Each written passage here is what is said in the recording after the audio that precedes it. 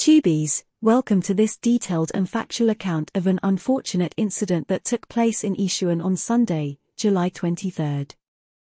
On that day, at approximately 9.35 am, a car and a motorcycle were involved in a collision near the junction of Yishun Avenue 1 and Yishun Street 81 in Singapore.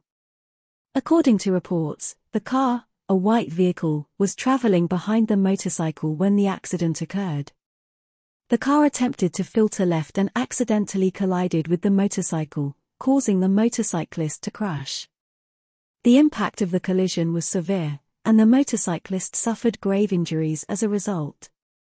In response to the incident, the police and the Singapore Civil Defence Force were dispatched to the scene.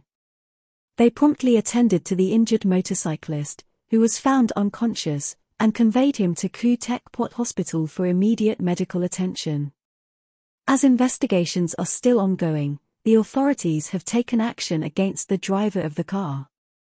A 59-year-old male was arrested on the charge of careless driving causing grievous hurt.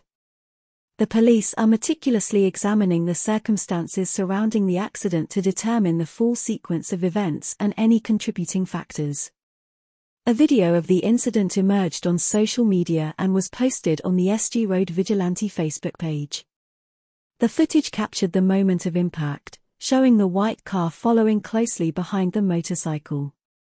Tragically, the car's attempt to filter left resulted in the collision that sent the motorcyclist crashing to the ground.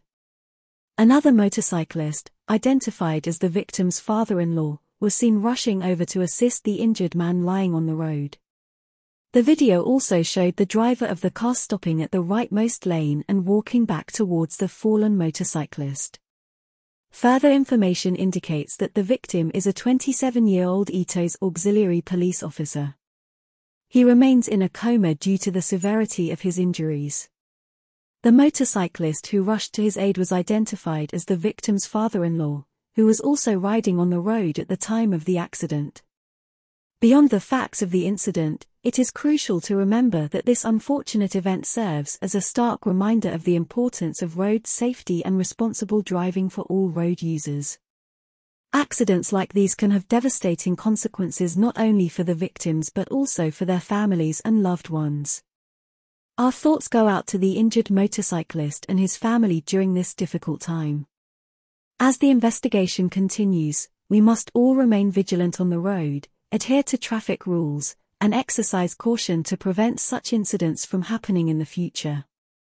If you found this information valuable, we encourage you to like, share, and subscribe to our channel to stay updated on important news and events.